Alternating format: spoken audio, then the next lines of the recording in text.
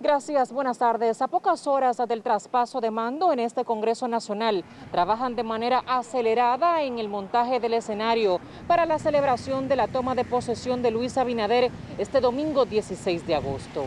De acuerdo con el presidente de la Cámara de Diputados, Radamés Camacho, todo está casi listo para la juramentación del presidente electo, que se celebrará en el Salón de la Asamblea Nacional. Yo estuve chequeando el Salón de la Asamblea Nacional, todo está bajo control, el aire está día de ayer, se ha higienizado bastante.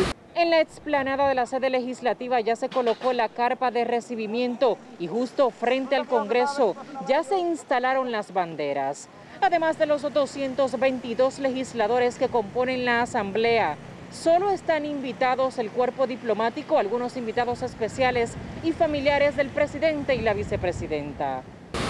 Ya todos los diputados, que es mi responsabilidad principal, tienen sus invitaciones y justamente hoy y mañana le daremos un toque de nuevo para recordarle la hora puntual, recordarle la vestimenta y al final también prepararnos para recibir al honorable presidente de la República, el licenciado Danilo Medina Sánchez, y recibir a seguida al presidente que va a juramentarse. Uno de los puntos que más ha llamado la atención en este proceso será la ausencia del presidente Danilo Medina en la ceremonia de toma de posesión.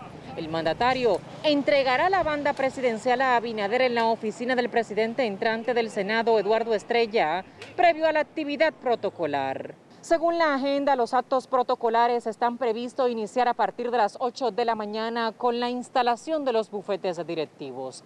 Es toda la información que tengo por el momento. Yo retorno con ustedes.